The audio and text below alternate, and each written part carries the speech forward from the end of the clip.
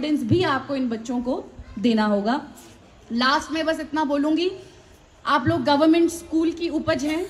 मैं बहुत ज़्यादा इज़्ज़त करती हूँ गवर्नमेंट स्कूल्स की। सबसे बड़ा रीज़न है क्योंकि सरकारी स्कूल ना होते तो एक गरीब बच्चा कभी कभी भी ना पढ़ पाता। और ये भी इतिहास के फैक्ट्स हैं कि जितने बच्चे सरकारी स्कूल से निकले हैं, वो आई ऑफिसर बने एच ऑफिसर बने डॉक्टर बने इंजीनियर्स बने तो कभी भी अपने आप को कम नहीं समझना प्राइवेट स्कूल वाले बच्चों से। कभी भी नहीं समझना कम।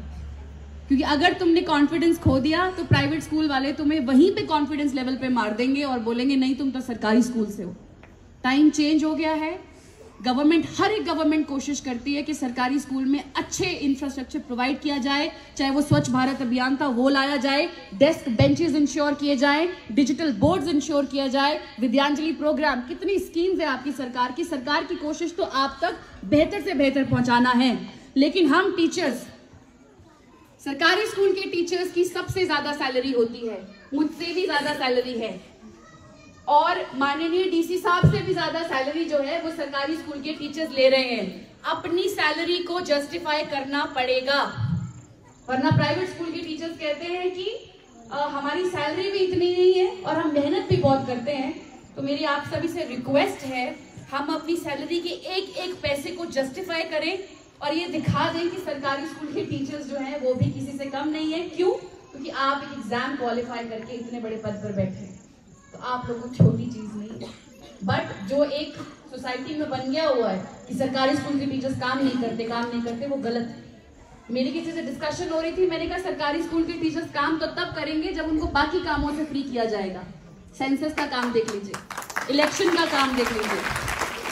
हर काम जो बेचारे टीचर्स है, वो आप लोग कर रहे हैं, चाहे वो मिड डे मील का काम है, हर काम जो है वो टीचर कर रहा है तो वो पढ़ाएगा कब? मैं मानती हूँ ये भी एक इंस्टीट्यूशनल एडमिनिस्ट्रेटिव है but but having said that जो है, जितना है, उसी में बेस्ट डिलीवर करना है। यही तो हमको सुपर ह्यूमन बनाएगा ना। अदरवाइज़ हम में और बाकियों में क्या डिफरेंस है? तो ये सारा का सारा टीचर्स के लिए था। तो बच्चों, बस इतना ही बोलना चाहूँगी। अपने देश से प्यार करते रहो। तुम्हारा हर एक एक्ट जो है, वो देश के लिए होना चाहिए। कुछ बनना है, देश के लिए बनना है। कुछ करना है, देश के लिए करना है। और यहाँ जितने भी मेरे बच्चे हैं, आप लोग तो अब बड़े हो चुके हो। आपकी जो नेक्स्ट स्टेज आने वाली है, वो फिर कॉलेज में मान सकती हूँ। कॉलेज ऐसा दूसरा पैरामीटर होगा जहाँ तुम्हारी ज़िंदगी डिसाइड होगी, आज ही सोच के जाना करना क्या है लाइफ में। और जो भी करो, उसमें बेहतरीन बनो, बस मेरी यही इच्छा है।